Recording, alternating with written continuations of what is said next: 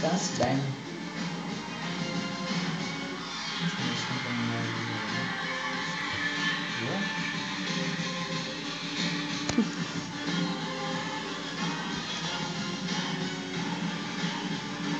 Você viu o coitadinho do cara trompetista? Bonitinho, né? Que a pessoa, o barato, aí a pessoa posta no nome